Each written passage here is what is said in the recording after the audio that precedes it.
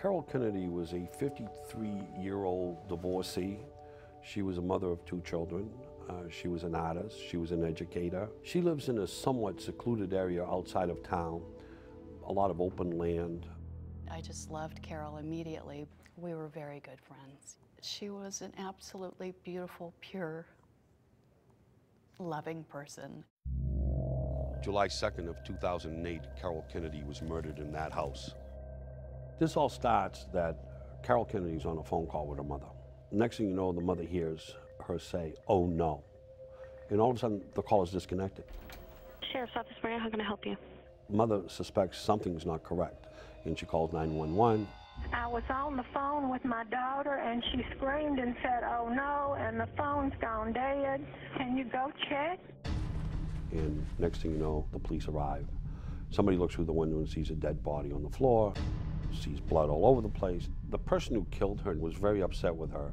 There's no reason to whack her seven, eight times over the head with a club. It was a horrific crime scene. We knew very little other than the fact that she had been clearly beaten to death.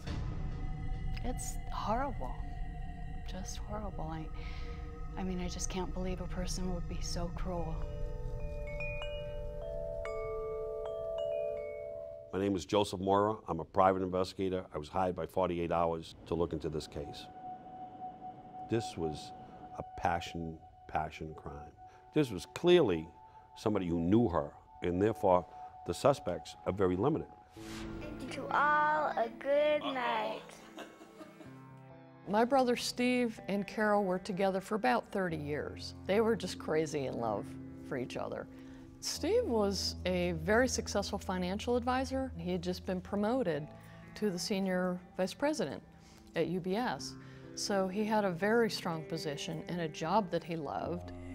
I always had a sense they were both deeply in love with each other and that the marriage had become toxic. Steven DeMocker puts himself approximately a mile, mile and a half from this exact location the night of the murder. He claims that he went for a bike ride. So obviously, being the ex-husband and uh, putting himself in the area, he becomes a suspect immediately. I want to be cooperative. Okay. And, and I'm hoping, like I said, I, I do my best to rule people out. He's the only person that hated her. She was just too good. No one else could do that to her. They already don't believe him. They didn't buy his initial story. They don't buy the alibi of riding a bicycle. They're saying, oh, we got our guy.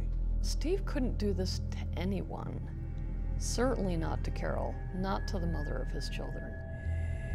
From the defense point of view, the biggest aspect of reasonable doubt in this case is the lack of physical evidence. There was none on his bike, there was none in his car, there was none in his house, there was none in his clothing.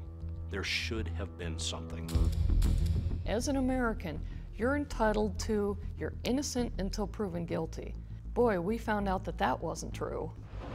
If you decide that you're going to arrest Steve DeMocker for the murder of his wife without any physical evidence whatsoever, you better have a very strong circumstantial case. They cannot put Steve inside that murder scene. So there's nothing we're going to find that's going to tell you there? No, I wasn't there. Okay, I wouldn't do that. Okay. What we do know is the DNA under Carol Kennedy's left fingernails is a complete profile, and it's not Steven DeMocker.